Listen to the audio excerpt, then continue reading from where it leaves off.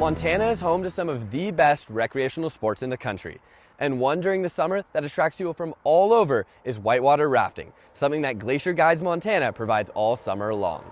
Every time you get on the river, you're like, you have this little bit of anticipation of excitement, you know, and you're you're going out there, you're paddling and you get out into the water and you are surrounded by such clean water, such beautiful rocks, such great geology, the chance to see wildlife right next to the national park. Now an owner after starting out as a guide 29 years ago, Janu knows nothing beats the looks on everyone's faces after they finish rafting on the Middle Fork River, whether it be the exhilarating rapids ride or the scenic relaxation float. We will bring a family where someone may be very apprehensive, children or parents in the beginning and at the end, they are just overjoyed with the experience which they've had. And that is something which never grows old. It's so wonderful seeing people forget about what city they're from or what where they've been and just to be in present and in the moment. One family from Ontario, Canada has been on several rafting trips in North America, but for them, the experience here in Montana takes the cake. This would be the bigger rapids the girls have ever